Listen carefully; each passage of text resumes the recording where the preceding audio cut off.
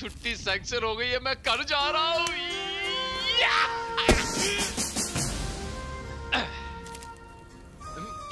और राम सिंह टाइम क्यों है और टाइम क्यों है पौने दो। ओ गड्डी तो टाइम हो गया। चंगा जी राम राम।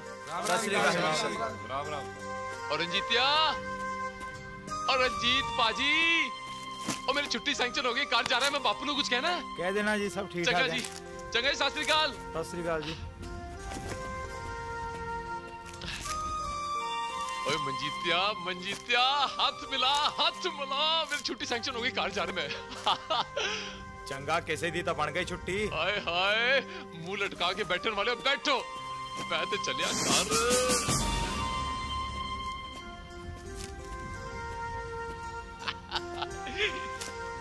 ओ सुखदेवा ओ सुखदेवा कार जा रहा है मैं। घर वालों को कुछ कहना है? कह दियो साहब चिट्ठी लिखते रहन। चंगा चंगा। राम राम जी मैं जा रहा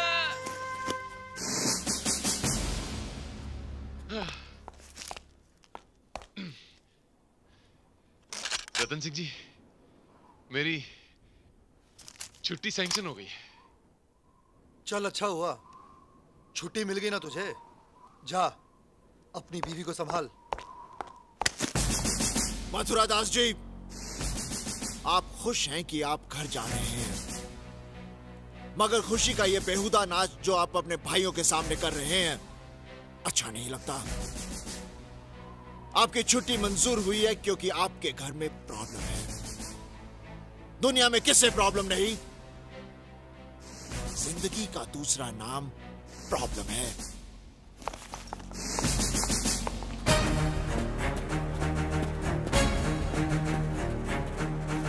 बता! अपने भाइयों में कोई ऐसा भी है जिसकी विधवा माँ आँखों से देख नहीं सकती?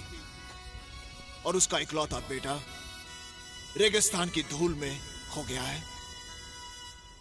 कोई ऐसा भी है जिसकी माँ की अस्थियाँ इंतज़ार कर रही हैं कि उसका बेटा जंग जीत कर आएगा और उसे गंगा में बहा देगा। किसी का बूढ़ा बाप अपनी ज़िंदगी की आखिरी घड़ियाँ गिन रहा है और हर रोज मौत को यह कहकर टाल देता है कि मेरी चिता को आग देने वाला दूर बॉर्डर पर बैठा है।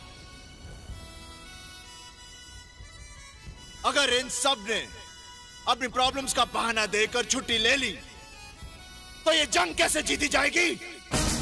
बता दसा जंग किधर जीतोगे आप